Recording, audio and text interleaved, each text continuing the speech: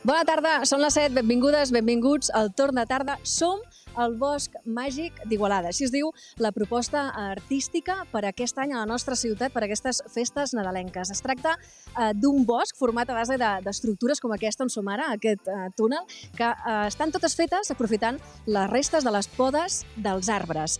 A més a més, és un projecte que ha tingut la col·laboració d'alumnes de les escoles d'art d'Igualada. En parlarem d'aquí uns moments. Bona tarda, Guillem. Encara no desvetllem la sorpresa del que s'hi troba a dins del Bosc Màgic. Espera un momentet i ara ho veuràs. Bona tarda, doncs de seguida eh, la, la descobrim. Gràcies, Mireia. Comencem el programa amb aquest, eh, des d'aquest bosc màgic d'Igualada. És un dels temes natalencs que ocuparan bona part del torn de tarda d'avui. No seran els únics perquè en tractarem d'altres com aquests. Aquest és l'ambient que hi haurà a Vic en aquesta 26a edició del Mercat Medieval que durarà fins diumenge un mercat que recupera espais del nucli antic. En descobrirem tots els detalls en directe avui al Torn de Tarda. Avui al torn de tarda visitem l'exposició Impulsart, una exposició amb uns quadres fets per uns artistes molt especials. De seguida us ho expliquem.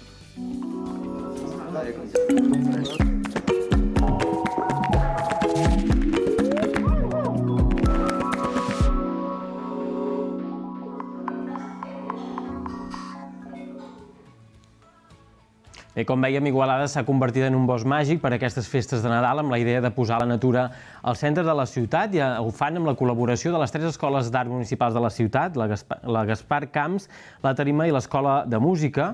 Uh, Mireia, tenim ganes de que ens desvellis uh, aquest secret. Bona tarda de nou. Bona tarda, Guillem.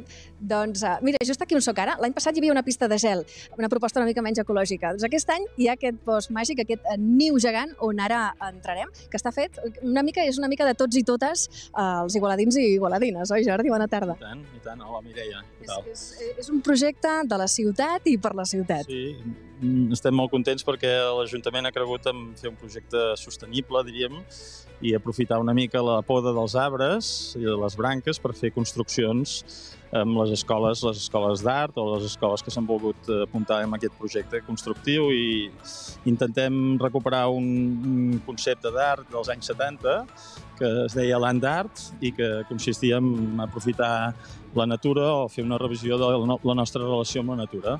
Ara que hi estem entrant, ja podem veure com hi ha aquestes branques i aquestes fulles aquí al, al sostre, sobretot. Sí, aquest, aquesta ha sigut una mica com una anècdota, que hem volgut fer un espai més gran i perquè hi pugui participar la gent, diríem, hem, hem hagut de fer una estructura, eh, diríem, validada val, per arquitecte i, i llavors és una, una cosa simbòlica una mica aquí, aquestes branques. Eh? La, la gràcia és una mica tot el concepte que hi ha al darrere, que, que hem volgut doncs, eh, fer-ho participatiu i que també les escoles i la gent pugui fer aquestes construccions. Hem començat aquest any, si la idea funciona potser ho podem repetir en un altre moment. És a dir, fa dies que els, els alumnes de les escoles ja estan aprofitant aquesta poda dels arbres per fer les construccions. Sí, la nostra idea va ser implicar el, els tècnics de l'Ajuntament, de, de, de, de, la, de la poda i d'això, per, per demanar-los si es podien portar camions amb el material a, l'escola, diríem, i aprofitar-los per construir estructures. I les escoles, eh, diríem, pensaran o pensen eh, quines estructures poden ser. Un niu o un, un claustre, aquesta és com una mena de claustre, on a dintre hi, hi han participat diverses escoles d'Igualada, l'escola de la Tarima també, fent els seus projectes creatius. Mm? Tota una declaració d'intencions. Una proposta ecològica, sostenible, Sí, clar, és una mica contradictori. El Nadal és la, el moment de màxim consum, probablement, de l'any, i per molts també és com un, tenir un sentiment de culpa, un sentiment contradictori en aquest moment, i potser hem de revisar de quina manera plantegem les festes nostres i som a temps i, i està a les nostres mans pensar com ho podem fer. Moltes felicitats pel projecte. Gràcies, Jordi. Ara eh, parlarem amb una de les escoles que, que ens comentava. Uh, mira, aquí tenim el, el, el Víctor, que no et. Hola. Hola, què tal? Venim. Vosaltres des de Teatre Nu sou els que heu ideat, en concret, l'actuació la, que es fa aquí cada dia, aquí dins d'aquest niu. Doncs sí, a partir de la de la idea de fer l'encesa, a partir de la idea de llum, de l'encesa que es va fer de, de, de, de les llums aquí a la ciutat. Primer ho vam fer amb els alumnes de, de la Tarima, que també el teatre no gestiona l'Escola Municipal de Teatre de la Tarima, i a partir d'aquí els personatges que van fer l'encesa són eh, aquests personatges, aquests fanalers i fanaleres que cada dia encenen una llum i que cada dia parlen al voltant d'un concepte de llum. Cada, cada conte, cada història és al voltant d'un concepte de la llum. Cada dia una història diferent durant 24 dies seguint el calendari d'Advent. Exactament. 4, 24 històries, 24 dies, 24 moments d'encesa i cada història sobre la llum i sobre aquest concepte que l'encarregant a l'Escola Municipal de Teatre La Tarima de fer l'encesa vam pensar que vincular, ja que el Jordi havia tingut aquesta idea, ja que l'Escola d'Art havia fet aquest de vincular el llum amb la, amb, la, amb la idea, amb la creativitat. I a partir d'aquesta idea de creativitat neixen totes aquestes històries. Abans em comentaves que aquí hi ha famílies i nens i nenes que ja venen cada dia perquè ja són allò fidels a l'actuació del dia que toqui. Doncs sí, la veritat és que està generant una crida, cada dia hi ha més gent, hi ha molts, molts fidels que ja ho saben, ja s'ho coneixen i que la veritat és que estan anant molt bé. Aquests actors i actrius fan un recorregut previ abans d'arribar aquí què passa en aquest recorregut? Van trobant gent del, de la ciutat, eh, gent del, que, que ja els esperen, es fan fotografies i els acompanyen fins, a, fins aquí, fins al Niu Màgic, a explicar aquestes històries que ha escrit la, la Montse Basart, de l'equip de, del Teatre Nu, la, la coordinadora de l'Escola Municipal de Teatre de la Tarima, és qui ha escrit aquests textos i qui ha fet les històries. I ara estan a punt de fer l'encesa d'un d'aquests fanals. Com és aquesta experiència que passa per primer cop a Igualada durant aquestes festes nadalenques de eh, que us uniu diverses escoles de la ciutat per un projecte com aquest? En el vostre cas, la, la part de, de teatre, però també doncs, l'escola de música eh, i també l'escola de disseny, la Gaspar Camps. Sí, doncs molt bé, la veritat és que val molt la pena que, que les escoles col·laborem, en, no només fem en aquest, sinó que en altres moments durant l'any, però aquest any la veritat és que en aquest, en aquest motiu de l'encesa de llums de la ciutat va aparèixer aquest, aquesta voluntat i s'hi ha pogut donar la volta, també que comentava el Jordi, aquesta idea de comercialitat que a vegades implica molt tot això, ha de cop i volta parlar de la creativitat, bé, parlar de la llum des d'un altre punt de vista. No? Moltes gràcies, Víctor. Felicitats pel projecte. Ens, ens quedem per aquí, que encara que s'està acabant l'actuació, la, però encara tenim una mica de temps. Fins a principis de gener es pot veure el Bosc Màgic eh, d'Igualada per mm, passejar-hi i retrobar-se amb un mateix i amb els altres. Eh, us hi esperem. Doncs eh, espereu-nos perquè intentarem venir a treure el cap alguna hora. Gràcies, Mireia. Eh, no deixem eh, de parlar de temes nadalencs, perquè durant el mes de desembre són moltes les poblacions de la Catalunya central que celebren fires i mercats de Nadal. Callús, al Bages, celebrarà la seva fira de Nadal aquest dissabte, no l'altre, el del 17 de desembre, i per parlar-ne ens acompanya la Mireia Lledó, regidora de Comerç i Turisme de l'Ajuntament de Callús. Bona tarda, Mireia. Hola, molt bona tarda. Com estan els preparatius per aquesta fira? Queda una setmaneta, encara? Doncs bé, tot ja preparat, més o menys. Quantes parades... Um, digues, digues. No, no, no, no. digue'm, digue'm. Quantes parades es preveu, es preveu que hi hagi i què hi podrem trobar en aquestes parades? Clar, parades no n'hi ha moltes, és una fira que és petitona, la Dius és un poble petit, no sé si el coneixeu, de 2.000 habitants. De parades potser n'hi haurà una dotzena o 12, 15, encara no ho sabem exactament, però com a molt, molt màxim seran una vintena. Però a part d'aquestes parades, que si voleu explico una miqueta de què són, es fan activitats.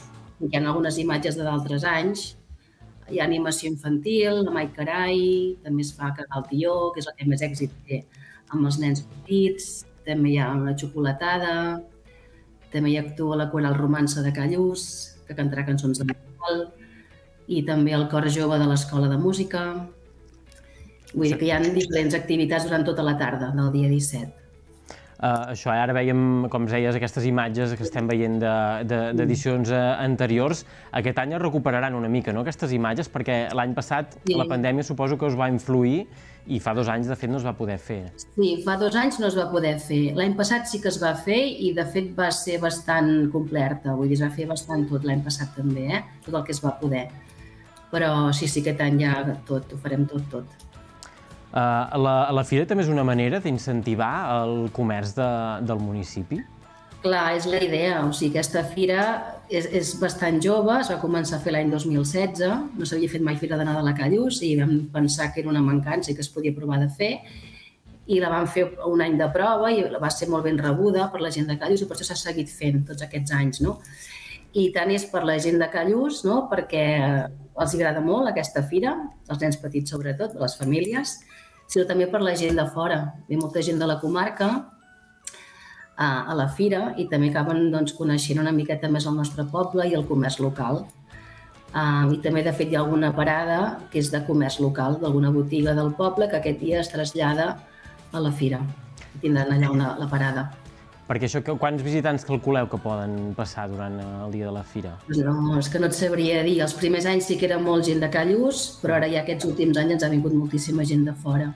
No et sabria dir, però a la plaça de l'Església, que és on es fa, s'omple. Vull dir que costa de passar perquè ve molta, molta gent. Ja dic, sobretot pel, pel tema del tió, eh? perquè al fer cagar el tió doncs hi ha molts nens que ho saben d'altres poblacions i venen. S'ha de portar un bastó. S'ha de portar un bastó. Explica'ns això, aquesta cagada del tió, una mica com, com funciona. S'ha de portar sí, el bastó? simplement han de portar un bastó. Han de venir els nens amb ganes de fer cagar el tió i portar ells un bastó. I llavors ja els organitzem nosaltres per edats i poden tots fer cagar el tió. Val, això també, eh, és, com deies que ve gent de fora, no sé si també de fora de, de la comarca, però eh, també és un punt de trobada. Bàsicament de la comarca, sí, de la comarca, de poblacions del voltant. I això també sí, és un punt de trobada. venir qui vulgui, eh? jo us convido tots a venir. També és un punt de trobada, dèiem, pel, pel, sí. per la gent del poble mateix, no? Sí, perquè a més a més hi ha parades també d'entitats del poble, de les AFES de les escoles, no? de l'escola de primària, de la llar d'infants, altres entitats com el Club Caní, per exemple, hi ha, hi ha moltes parades d'artesans, que són o bé de Callús o bé de fora també. Artesans que venen productes nadalencs o també mm, complements o plantes o bisuteria, alguna de pintura també vindrà aquest any. Vull que hi ha bastanta varietat. Doncs una varietat que recordem, això, si la gent volen venir a conèixer la Fira de Callús, doncs dissabte dia 17 doncs estarà tot a punt a la plaça de l'Església a les 4 de la tarda. Perfecte. Doncs moltes gràcies, Mireia, per ser avui aquí al torn de tarda. A vosaltres. Gràcies. Adéu. Molt bé, doncs parlem de fires, no deixem de parlar de fires i mercats, en aquest cas parlem de, ens, eh, ens anem cap a la comarca d'Osona, concretament per parlar del Mercat Medieval de Vic, un dels grans punts d'afluència durant el Pont de la Puríssima a, a Catalunya. Se celebra una nova edició aquest any que ja recupera la normalitat prepandèmica amb prop de 400 parades d'arreu de, del territori i, a, i aquí al Mercat Medieval hi tenim en Sergi Vives. Sergi, Bona tarda. Um, T'has passejat per la fira, no sé si has tingut temps de, de fer compres avui o encara ho, ho esperaràs fins diumenge per comprar alguna coseta. Doncs sí, mira, Guillem, jo estic aquí rodejat de, de parades. Uh, encara hi ha temps per fer compres. Uh, I estic rodejat de parades de tot tipus. Hi ha menjar, hi ha productes artesans, hi ha cosmètica, joies, etc. Però em vull aturar en una en concret que és de formatges. I aquí al meu cantó tinc a l'Ivan Pérez. Bona tarda, Ivan. Bona tarda, noi. Què tal? Com va? Escolta, com ha anat el dia uh, avui? Molt bé, la veritat que avui, molta, per ser laboral, hem, hem, hem vist que hi ha bastanta gent, al matí una mica menys, però bueno, bastant bé, i a la tarda, pues ja ho veus, a tope, no parem, anem fent. De fet, uh, d'aquí uh, es sent molta olor a formatge, de, a casa no ho notareu, però uh, explica'ns quins productes oferiu, quina classe de formatges teniu aquí. Mira, formatges d'aquí al país, de cabra, de vaca i d'ovella, també en portem de fora de Catalunya, algun d'Astúries i algun d'Itàlia. Una mica de variat i poc més. Realment portem pocs tipus, però tots bons. No... Intentem no portar cosa dolenta. I n'hi ha algun que, que marxi més que un altre? Pues sobretot aquest que curem amb ratafia, i el de tòfona. El de tòfona, aquest pecorino sardo, pues, a la gent últimament li està agradant molt, és un formatge molt fi i els agrada, però sobretot el de ratafia, eh? surt molt, molt, ens ho demanen molt. Uh, si no m'equivoco, uh, porteu ja uns 15 anys venint sí. aquí al mercat uh, medieval. És una bona fira per vendre productes? És potser de les millors fires. No una bona, sinó de les... Jo crec que és la millor fira de Catalunya, si no la... de les millors, vaja, segur. Eh, de fet, veig que aquí entre els formatges teniu un, un gel eh, per les mans. Sí. Eh, com us va afectar a vosaltres el Covid? Bueno, aquell any de pandèmia doncs una mica fotut, la veritat, perquè no vàrem poder sortir a vendre gaire, només treballar a l'obrador i distribuir a casa així un cercle més tancat, però bueno, quan va acabar, hòstia, la gent va sortir al carrer encara amb més ganes de comprar i de fer vida al carrer. I llavors, bueno, vam notar, vam notar molt, la veritat, però ja ha passat. I respecte a l'any passat, l'any passat encara hi havia uh, algunes restriccions de Covid. Heu notat sí. més gent? Sí. Mm, pues, si et soc sincer, no. L'any passat ja va vindre molta gent de cara i aquest any, si més no la mateixa o més, no, no sabria dir-t'ho, però igual, eh? Jo pels números que fem de la venda, igual. Igual cada any, et diria que fa molts anys que això no baixa ni puja, eh? Vull dir, igual. Molt bé, molt pla. Doncs escolta, Ivan, gràcies per atendre'ns, que vagi superbé el mercat i, i bon mercat. Gràcies, gràcies. nois. Vagi bé. Nosaltres seguim aquí a, a les parades. Uh, Guillem, deixa'm els formatges, que és molt mala hora. Ara les 7, són les 7 i quart, és molt mala hora, tenim gana. Però anem aquí amb una parada a, a parlar amb la Judit, amb la Judit, que la tenim aquí. Molt bona tarda, Judit. Què tal? Bé, aquí... Bé, molt bé. Explica'ns una mica quins productes oferiu. Bueno, jo faig ceràmica i bueno, una mica mandala, faig en diferents en dissenys de diferents cultures, combinats amb minerals, suports per a incens, per a espelmes, una miqueta tot això. És el primer any que veniu aquí al mercat? No, fa quatre anys que la faig aquesta fira. I, i bueno, ja porteu quatre anys. Uh, és un bon mercat per, per vendre productes. Com, a, com estan anant aquests dies? La veritat és que bé, és un bon mercat, però el coneix molta gent, llavors passa gent contínuament i la veritat és que sí, que és, de, és una bona fira, està, està molt bé. Doncs escolta, Judit, uh, moltíssimes gràcies per atendre'ns i que vagi molt bé al mercat uh, fins aquest diumenge. Gràcies. Gràcies, gràcies a vosaltres.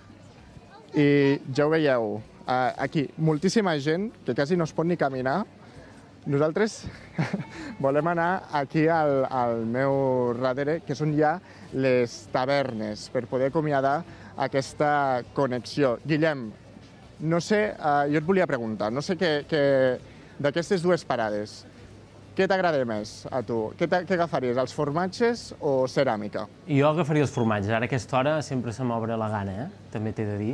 Vull dir que confio que, eh, de fet estem molt a prop, jo confio que tornis amb un, amb un bon tros de formatge eh, eh, quan acabem el programa, no sé.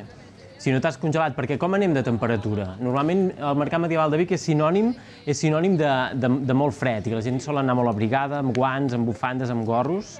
Tu et veiem molt valent sense guants ni, ni gorro. Doncs, do, doncs sí, aquí fa fred, la gent va amb barrets, vaig amb jaqueta, potser no fa tan fred com, com altres anys, avui en concret, però no sé si és el caliu, que hi ha aquí també molta afluència de gent. I mireu, aquí, aquestes són les tavernes, una de les propostes nascudes per la pandèmia que han tingut una bona acceptació. Aquí tothom, aquí ve la gent a beure, a menjar i es concentra aquí. Escolta, Guillem, nosaltres ens acomiadem aquí una fira medieval que tindrà que, que estarà disponible aquí a Vic fins al diumenge, tot aquest cap de setmana. Moltes gràcies, t'esperem que ens portis el formatge. Uh, fins ara. I canviem de tema ara, deixem de parlar de Nadal, perquè a motiu del Dia Mundial de la Discapacitat Intel·lectual, el passat dia 1 de, de desembre, la Fundació Empans va estrenar l'exposició Impulsart. En Quim Roura ens mostra tots els detalls el Museu de l'Aigua i el Tèxtil de Manresa acull una exposició artística molt especial.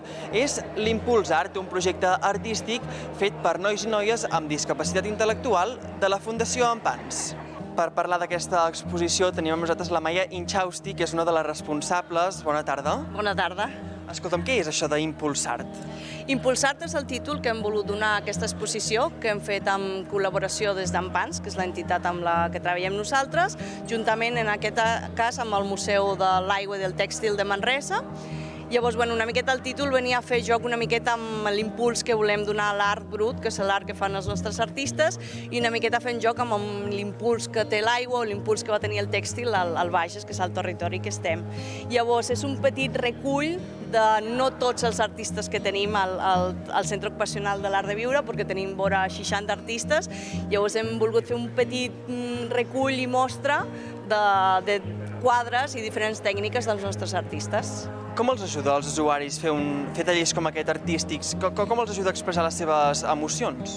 A molts d'una manera molt, molt important, perquè hem de tenir en compte que algunes persones no tenen capacitat de comunicar-se o d'expressar en paraules el que senten o el que volen, i en canvi agafar un pincell, un llapis, eh, els hi ajuda molt a treure tot allò que tenen, que tenen a dir.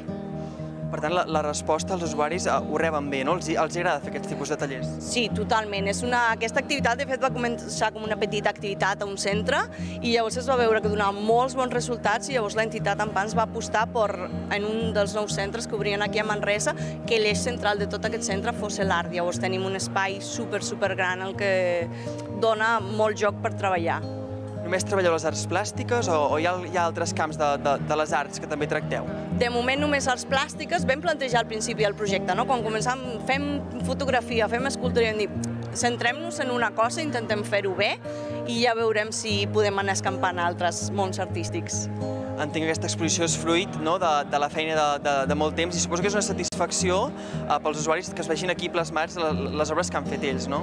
Sí, totalment. A més, és una exposició en un espai aliè amb pans. Llavors, això també els, li dona molt valor. No és el mateix exposar, per dir-ho així, a casa teva que a un lloc que no és el teu lloc, no? i que et donin aquest espai i et donin aquesta rellevància. Montse, què significa per tu tenir exposada una obra aquí a, a aquest museu? Hola, bona tarda. Pues, significa molt per mi, és una cosa molt important, em fa sentir molt, molt, molt inspirada amb això, amb això de l'art. Eh, és molt maco, m'agrada molt i estic molt contenta. De què et serveix a tu l'art? Pues, principalment serveix per omplir-me o fer alguna cosa, per omplir el temps, per fer alguna cosa de més a més, alguna que m'agrada molt, que feia temps que no feia des de l'escola, des de l'escola pues, que no dibuixava ni pintava i ara quan vaig entrar al taller de l'art de viure, aquí a les bases de Manresa, pues, m'he tornat a enganxar a l'art i m'agrada molt. Vaig començar fent quadres petitets, dibuixos petits, i cada cop he anat fent coses diferents, quadres més grans, Suposo que exposar un, un quadre aquí et, et fa venir encara més ganes de, de seguir pintant, no? Sí, sí, sí, encara tinc més ganes de, de seguir-ho fent mentre es pugui, pues, seguiré aquí al taller d'art.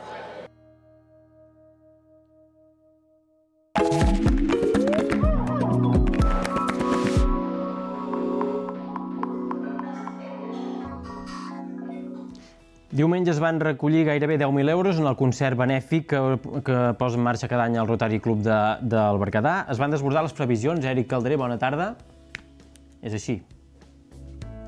Bona tarda, Guillem. Doncs sí, és així, eh? Ni la mateixa organització es pensava doncs, omplir el local del Blat d'aquesta manera. Fins i tot es van haver de posar cadires eh, a, a, les bandes, als costats d'aquesta sala, perquè doncs, eh, la visita del públic era molt i molt gran. Ens acompanya la presidenta del Rotary Club del Berguedà, la Maria Àngels. Bona tarda. Hola, bona tarda. Que molt contents per això que deia. Sí, sí, molt contents de la gent, la participació. La veritat és que va quedar el local molt ple. Les imatges ja ho veuen, que queda el local doncs, ben bé, ben ple. Estem molt contents.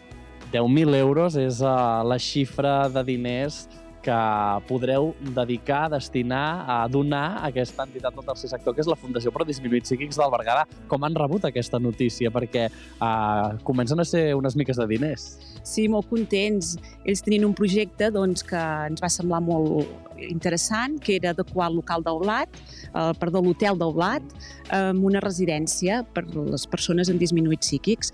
Llavors, doncs, clar, eh, aquests projectes doncs, ja se sap que són molts diners els que es necessiten i aniran adequant doncs, tot, a, tot aquest, aquest hotel doncs, perquè pugui ser una residència. Aquesta és una de les particularitats d'aquest concert. Cada any dediqueu el benefici a, a una entitat social per poder doncs, treballar els seus projectes, que cada any són diferents. Sí, nosaltres convoquem a totes les entitats del Berguedà, els enviem doncs, a través dels ajuntaments una carta de que es puguin participar doncs, això, a presentar un projecte. Eh, es van presentar aquest any set projectes i dels set projectes doncs, un jurat extern és el que va escollir eh, aquest projecte de la Fundació Pro Disminuïts Psíquics del Berguedà tant, cada any eh, una entitat diferent és la beneficiària, no sempre toca amb la mateixa, entenc.